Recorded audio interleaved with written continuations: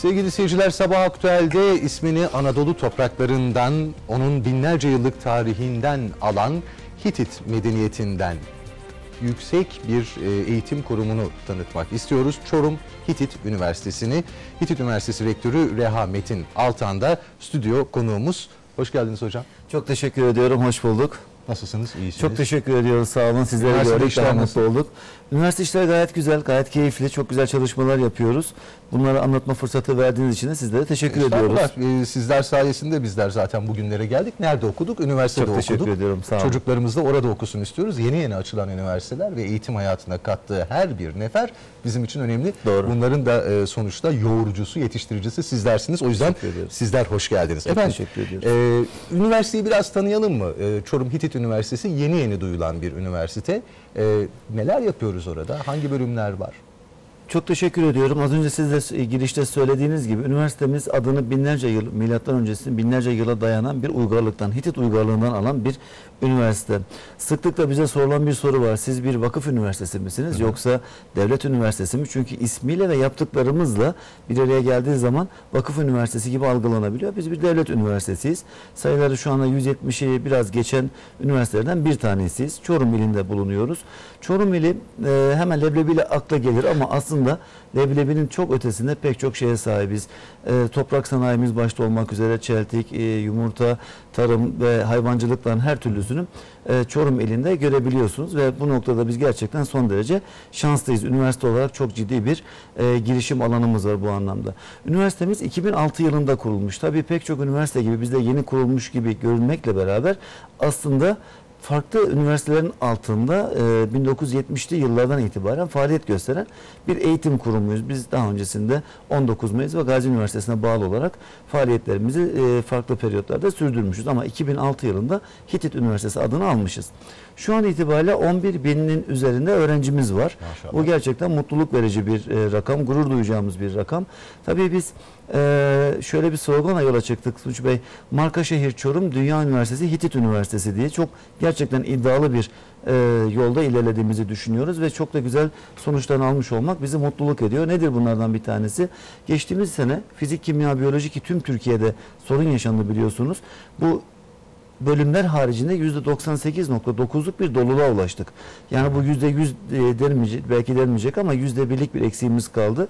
Bu bizim ne kadar tercih edildiğimizin ve ne kadar öğrencilerimizin de e, bize gelmek istediklerini gerçekten göstergelerden bir tanesi. Tabii bu noktada Çorum'un lokasyonu Ankara'ya çok yakın olması, İstanbul'a her gün artık iki tane uçak e, firmamızın uçuşları var. Ya bunlar bizi tabii çok olumlu etkiliyor. E, Yedinci yılımızı kutladık bu sene. Yedinci yılımızda yedinci fakülte diye kısa bir süre öncesinde Güzel Sanatlar Tasarım ve Mimarlık Fakültemizi faaliyete geçirdik. E, bu noktada gerçekten hızla büyüyoruz. Şu anda yedi fakültemiz var. Beş tane ilçelerimizle beraber meslek yüksek okulumuz var. iki tane yüksek okulumuz var. Üç tane enstitümüz var. Altı tane araştırma merkezimiz var.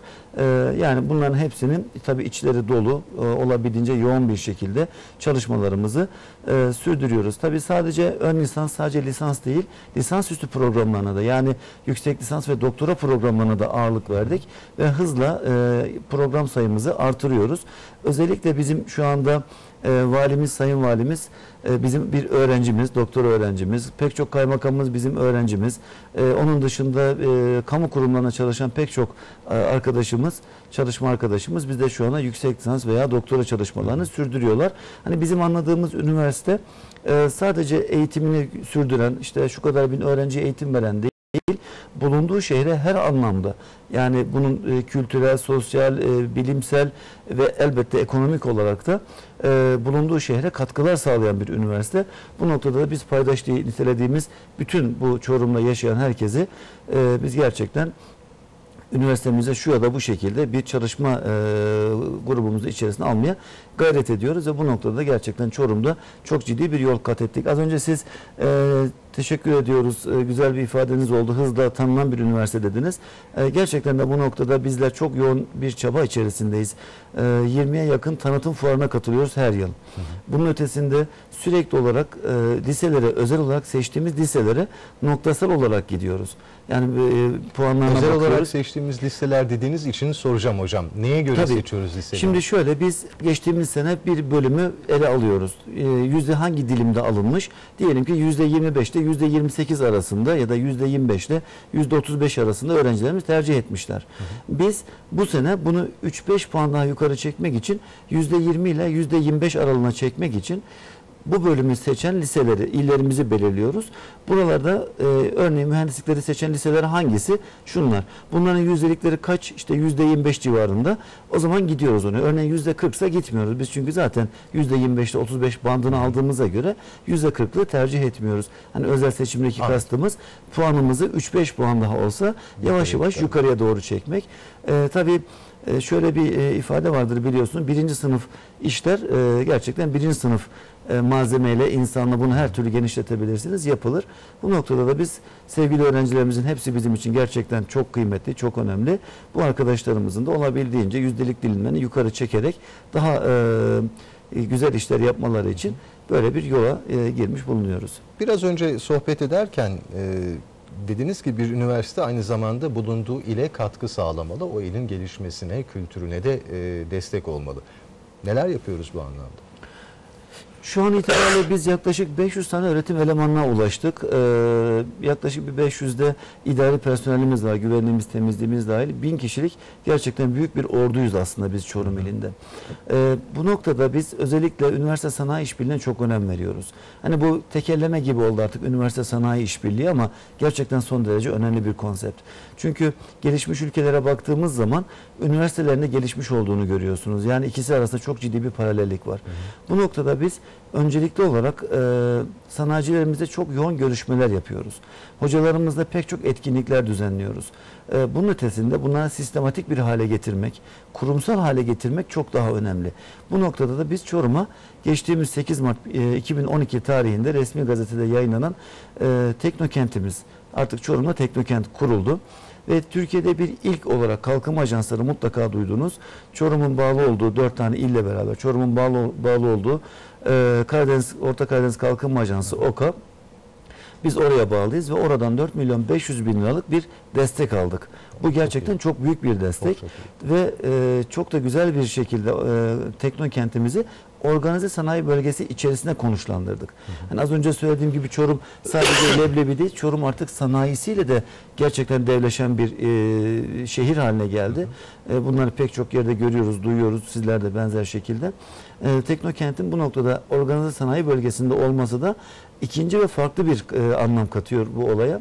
E, sanayinin merkezinde Üniversite Sanayi İşbirliği'nin dünyadaki en önemli argümanlarından bir tanesi Teknokent'tir ve bu teknokentlerimizi de e, biz e, inşallah bir yıl içerisinde faaliyete geçireceğiz. Birkaç aya kadar temelini atıyoruz. Yani 8500-9000 metrekarelik büyükçe bir alanla başlıyoruz ve biz içinin de çok hızlı bir şekilde dolacağına inanıyoruz. Bunun ötesinde Üniversite Sanayi İşbirliği'nde e, staj noktasında biz sanayicilerimize çok yoğun çabalar sarf ediyoruz.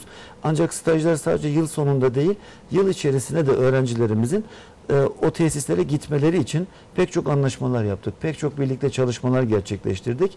Öğrencilerimiz e, tabii tümü değil şüphesiz bu tümü desek o doğru olmaz.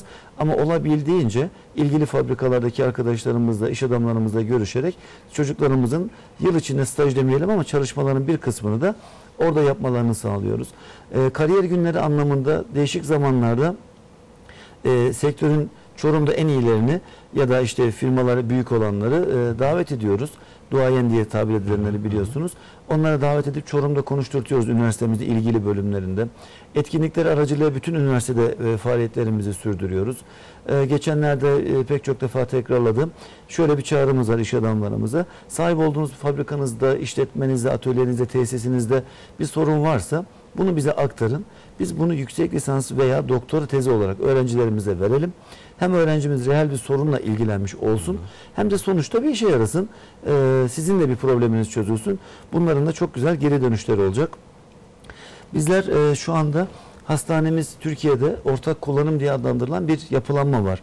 Eskiden biliyorsunuz üniversitelerinde hastaneleri oluyordu. Evet. Aynı şehirde Ee, çok özür dilerim. Aynı şehirde e, devletin de hastanesi vardı. Tabii bunlar hastane işletmeciliği çok pahalı bir işletme gerçekten e, ve çok da önemli. Yani böyle ihmale gelmeyecek bir işletme.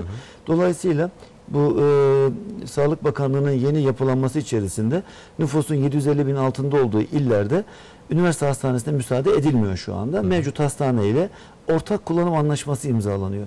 Bunun sonucunda biz muazzam bir e, ivme kazandık. 6 ay kadar süre içerisinde şu anda 40. açık kalp ameliyatı yapıldı Çorum'da. E, 1300'e yakın anjiyo yapıldı. 200'ün üzerinde bypass yapıldı. Bunlar gerçekten Çorum'da e, çok kısa sürede gerçekleşen şeyler ve inşallah bunların daha da e, artacağına inanıyoruz. Yani Çorum bir yandan da üniversite sayesinde Sağlık Bakanlığı'nın çok ciddi yatırımlarıyla beraber üniversite çünkü akademik personel kısmını sağlıyor.